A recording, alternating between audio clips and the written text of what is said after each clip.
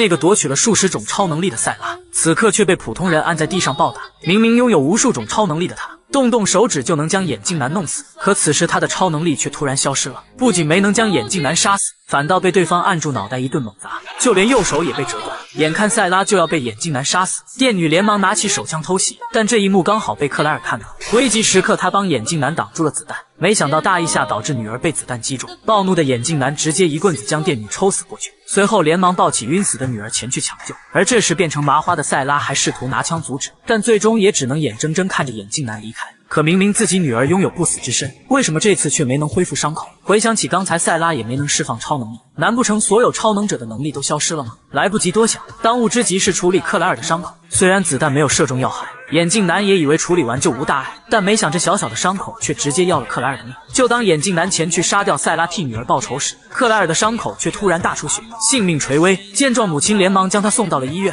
可刚中枪的伤口怎么可能导致全身感染？医生连忙让母亲如实说出中枪时间。It's gonna be easier if you don't lie. I'm not.